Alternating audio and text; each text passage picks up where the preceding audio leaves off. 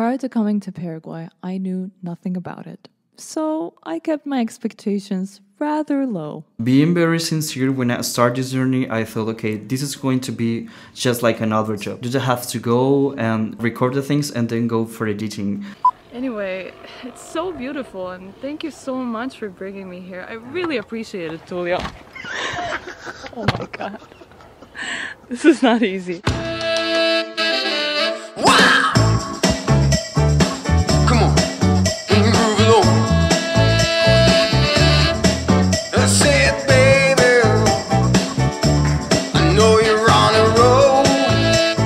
Do you think about the new age? Okay.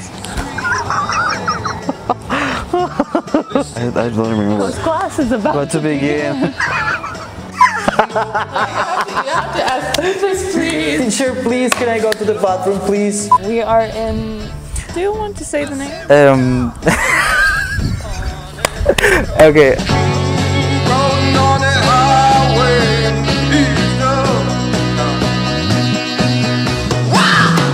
As soon as we started recording our first video, I got so excited. Okay, Faces to Hearts, I'm here with some very special, powerful women, and they have something to say to you. So, tres, dos, uno. Mujeres Líderes Mujeres Líderes were the embodiment of their title, and filming the interviews with them made this whole experience real. The journey consisted of ups and downs, but sometimes even the downs ended up being up somehow. On our way to the second project, somewhere in Misiones, in the middle of nowhere, we got stuck as we had a flat tire. Don't go. Nobody wants to talk to us. Not even a cow, Diego. Yeah. It's not a great start of our careers as, as yeah, yeah. Not even cows wanted to talk to us, but it sure made a very memorable experience.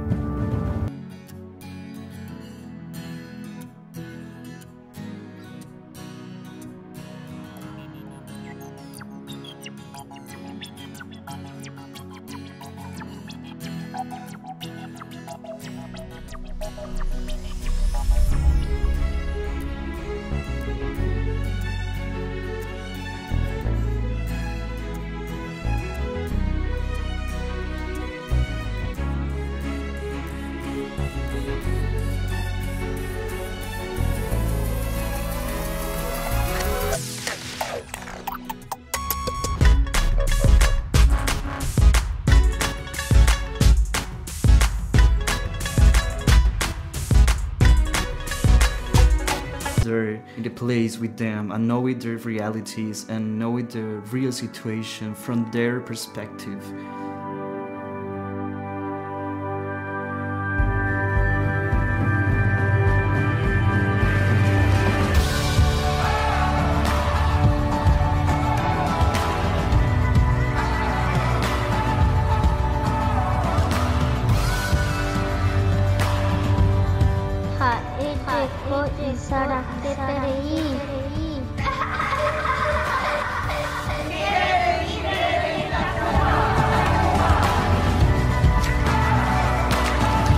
I discovered a new Paraguay. A Paraguay that has a very reflexive perspective of its history. A Paraguay that has very good ideas to improve the situation of our communities. The journey of getting to know the places as well as faces and hearts of this country was a humbling experience.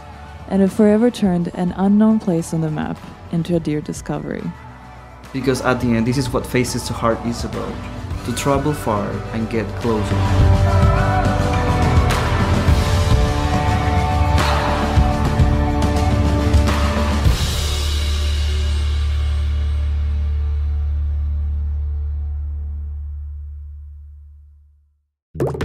you